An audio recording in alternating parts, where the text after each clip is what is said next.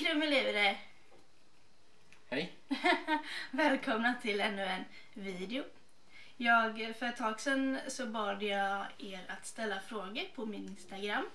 Eh, ja, till en sån här frågestundsvideo. Så nu ska vi svara på frågorna vi har fått. Mm.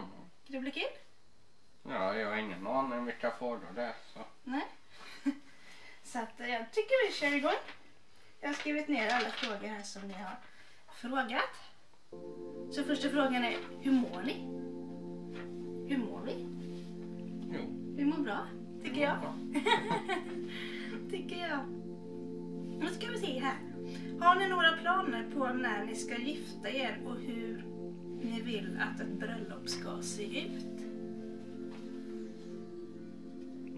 Jag har väl inte några direkta konkreta planer. Visst har man väl vissa typ, typer av saker man gillar. Men Ja. i och med att det ligger rätt långt i framtiden så har man väl inte hunnit konkretisera det. När vi, vi har ju pratat så här lite om att eh, vi ska väl gifta oss någon gång. Ja. Ja. Men att sen, sen vet vi ju inte exakt i detalj så liksom hur vi vill bröllopet ska vara. Nej. Det har vi ju inte. Det enda jag vill är att eh, ha typ en vit kostym. Mm. Sen har ju, jag, jag har ju sagt den idén till dig ju. Eh, jag minns inte. Där att eh,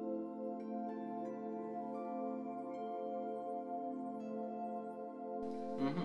mm, Ja. det tycker jag är fint. Men då är det ju att man är ute nästan. Ja, får det bli. Ja. Eh, har ni planerat att köpa hus? Ni är så fina och Hugo är så söt. Ska du gå under sängen här nu Hugo? Du vill inte vara med alls. Har vi planer på att köpa hus? Ja. Ja, det har vi. Vi, eh, vi Kort. sparar ihop. Mm. Kort svar ja. Men nu när får man ju vänta och se hur prislägena blir. Om det blir så att huspriserna sjunker med boräntor och sånt vuxet. Eh, Så att just nu är det mer ett avvaktningsmoment. Men om några år har vi nog definitivt ett hus. Så att eh, i väntan på det liksom, eller sådär, att vi, vi fortsätter att spara och kikar, jag ki- kikar ju runt lite så här på hus. Mm. Men det är så osäkert läge nu ekonomiskt så att eh, man får avvakta lite. Ja, det är kul att kika runt på hus och på bilder tycker jag. Vill ni ha fler hundar? Om det är så att situationen förändras lite. Just nu, Nu funkar det ju inte riktigt.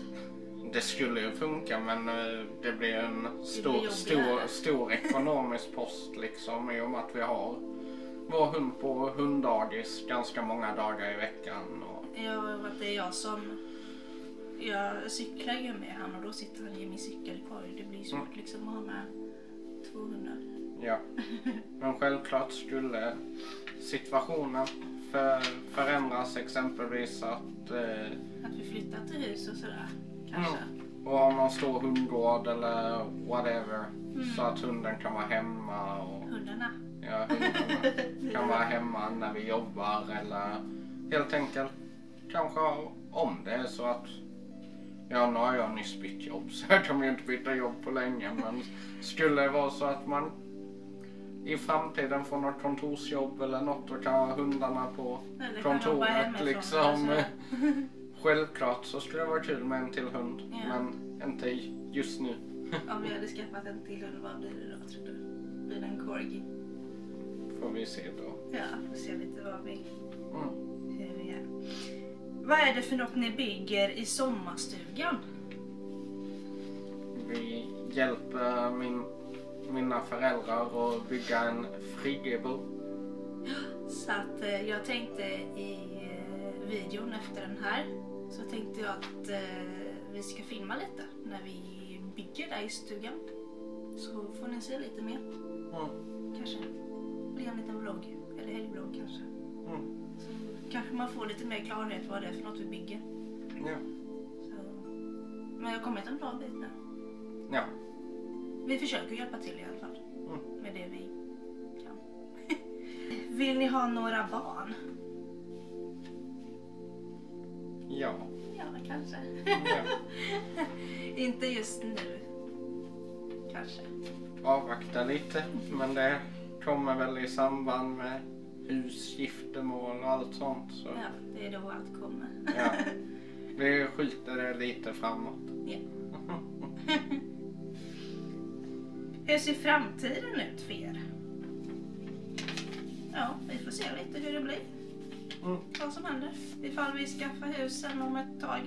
Mm. Några år. Eh, Så får vi se om vi skaffar barn också om några år eller sådär. Kanske ha ytterligare en hund. Mm. Jag vet inte. Vi får se. Vi ska inte skilja oss i alla fall.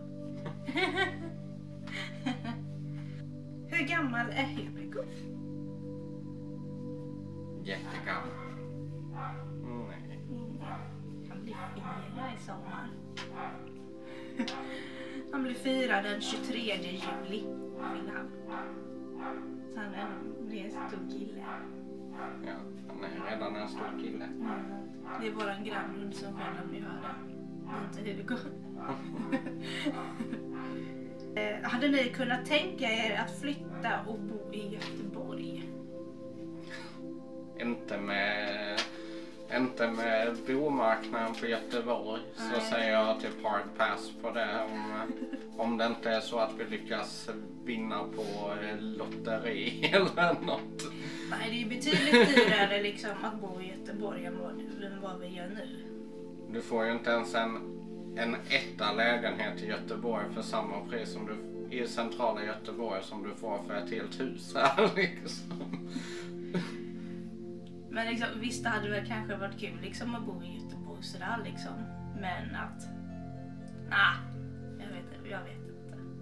Jag är ju inte så mycket för att bo liksom centralt men att, Nej, men eh, då känns det att mer bo liksom på västkusten någonstans 10 mil ifrån Göteborg eller 7 mil ifrån Göteborg. Visst hade jag väl kunnat tänka mig. Ja. Så att man liksom ändå har bara, åh, vi kan åka till Göteborg i, imorgon. Ja. Alltså eh, mer, mer en sån grej, absolut. Men det är väl inte så att jag känner något behov av det. Liksom. Nej, nu siktar vi ju mer in liksom på att hitta något hus här nere Mm. och flytta till. Vi är ju båda ganska satta på att vi vill bo i hus. Så. Ja. Liksom, nu bor vi ju liksom på en markplanslägenhet liksom med en uteträdgård och sånt där. Ha lite trädgård och sånt här ju. Då blir det jättesvårt att flytta tillbaka till ett vanligt, vanlig lägenhet. Mm. Det kan vi inte göra. Så då är nästa steg ett hus efter detta. Mm. Ja. Har ni tandläkarskräck? Jag har inte det. Nej, alltså jag skulle väl inte säga tandläkarskräck men... Eh, men... Eh, det, det, det, det, är ju inte så att, det är ju inte så att jag känner att jag gillar att gå dit. Alltså. Nej, vem gör det liksom? Så alltid när man får första kallelsen efter typ ett år, ah, vi tar dem ett halvår till. Och sen brukar jag sträcka mig till att gå. Ja, du brukar få skjuta upp det. Ja. På grund av jobb och sånt där. Mm. Ja men sen att jag skjuter ju det ganska långt fram. Det är ju inte så att jag säger bara kan vi planera inom tre veckor utan det är mer ah, vi tar dem ett halvår. Kanske. ja. Men det är alltid skönt när man kommer från tandläkaren. ja, det är en härlig känsla. Rena och fräscha tänder. Vad har ni för planer för sommaren? Vi får se lite Mm. vad som eh, händer. Jag Ja. måste lägga in om semester för det första. jag har inte gjort det än. Ja. Men det blir ju inget sådär att åka utomlands och så. Nej. Eh, Kanske sträcka oss och åka till Danmark eller något. Mm, inte restriktioner och sånt är där nu heller. Ja, det är nog inte så mycket restriktioner. Är det inte det? Att man får åka fritt och så nu. Mm. Men det är liksom inga större planer, mer roa oss här. Antagligen blev det ju i mina föräldrars sommarstuga och i Göteborg och Mm. kanske någon liten roadtrip eller något. Ja, vi får se lite. Men eh, det blir mestadels i Sverige i alla fall. Sen får vi se, det kan bli nästa år. Mm. Var, var Jakob nervös när han skulle fria och hur länge hade han planerat i förväg? Det var en fråga till dig. Egentligen var det ju ganska självklar tid liksom sådär att eh, liksom, det är ju svårt att hålla något sånt helt utan att Pamela skulle veta om det. Jag menar, vi firades tio år. Nu har ju inte ringen på mig. Det var det. Ja, jag tänkte jag skulle ha haft den på mig. Du gifte dig med mig. Ja. Nej men eh, det är ju svårt att hålla något sånt eh, jättehemligt eh, när man har års, tioårsdag samma dag. Så att det var med, hur länge hade jag planerat? Ja, så länge som vi hade planerat resan nästan. Så att det är ju inte... Sen typ strax där vi, efter nyår, Mm, januari, februari, ja, något. Nej, januari måste det ha varit, det som vi planerade. ja. Men eh, man har väl alltid haft det i baktanke och Pamela har ju frågat. Jag blev tittat sig skilsmässigt flera gånger på ringen. Ja. Men jag tror ändå hon blev lite, lite så. Ja, jag var ju inte riktigt beredd liksom där och då på plats. Nej. Men det blev ju lite så då att vi åkte, vi skulle åka hem samma dag. Men Vi jag, skulle vet, till Göteborg. ja, jag åkte till Göteborg samma dag så att då blev det lite stressigt där. Men När vi att packa. ja, Sen hade inte jag de finaste kläderna på mig heller. Tycker jag. tycker du. Nej, jag hade ju uppsatt och stor tröja och så. Mm. Mm, Medan du var finare. Du hade planerat det. Skulle säkert ha klappat dina kläder. Vem av er går hemifrån först på morgonen till jobbet? Det är garanterat du. Mm. Förr var det oftast Pamela eller blandat. Men eh, nu är det ju garanterat jag. Ja. Men jag kommer ju hem först också. Ja. Oftast. Men du går ju upp vid fem, sex. Jag har klockan ställd. Så jag, beroende på vart jag jobbar dagen efter, i och med att jag har ett sånt jobb där jag åker runt och jobbar på olika platser. Så eh, har jag jobbat mycket, någon timme bort och så och då behöver jag ju köra vid sex om jag ska vara på plats vid sju. Mm. Så,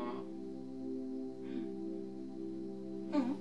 Du jobbar butiksjobb så du börjar vid nio. Jag börjar nio, men jag kör ju oftast eh, med Hugo till dagis på Mm. morgonen. Så jag får ju Ja, dagis öppnar ju inte förrän eh, typ vid sjutiden, ja, halv sju. halv sju. Så då hinner jag inte lämna på morgonen. Nej. Så då får man ju också planera in det. Att man ska hinna lämna honom innan man själv börjar klockan nio på morgonen. Ja. Hur mår Hugo? Mår han väl bra? Ja. Det var ju ett tag sedan han hade problem med magen. Och eh, han har... Jag har fått byta frysmat här rätt så nyligen. Rätt hastigt. ja. Så, vi, Av olika anledningar. så har ni tips på eh, vad Hugo kan gilla så, eh, så skriv ner i kommentarerna. Eller som, typ som köttbullar eller korv eller något. För nu, Ja. nu provar vi oss fram lite. Mm. Vi har ju provat von, mush, sund och hundmat. Kameran stoppades så jag fick tömma lite grejer. Eh, ja, hur mår Hugo där? Han mådde bra. Mm. Hur långa är ni? Vi är inte så jättelånga. Nej. Är frågan, vi formulerar om den istället till kortare. Ja. Jag är typ 1,60. Jag är typ 1,75. Lite kortare. Ja. Mm. Eh, ska du se Laleh i Göteborg i sommar på Ullevi? Jag, eh, jag kikade på biljetterna när det väl släpptes. Men att jag hade ingen som ville gå och titta på Laleh med mig. Mm. Du skulle göra annat eller något? Jag minns inte ens när det var. I sommar. Det var inte samtidigt som Sweden Rock. eller? Det är mycket möjligt. Mm. Ja, jag, eh, du kunde inte eller vad det var för någonting. Eller ville kanske inte heller. Jag vet, jag vet inte. Men sen hade jag ingen kompis eller något sånt där heller och inte min mamma ville inte heller bo med mig och ingen annan heller så då sket jag i det. Mm. Trivs ni bra där ni bor? Än så länge. Ja, Ja. jag trivs i alla fall. Ja. Det gör vi. Mm. Men eh, det har varit ännu roligare att flytta Mm. till ett hus. så det siktar vi in oss på. Ja. Mm. Så att, ja, det var alla frågor vi hade. Så att jag hoppas att ni fick bra svar på era frågor. Så att, ja. Det var väl det. Eller hur? Ja. Ja. Så att nästa video blir en vlogg igen. Det är bara vloggar ni vill se på min kanal. Varför? Skriv här nere varför vill ni bara se vloggar? ja, nej men vi tackar för era frågor och hoppas att ni tyckte om den här videon. Så ses vi i byggvloggen nästa gång.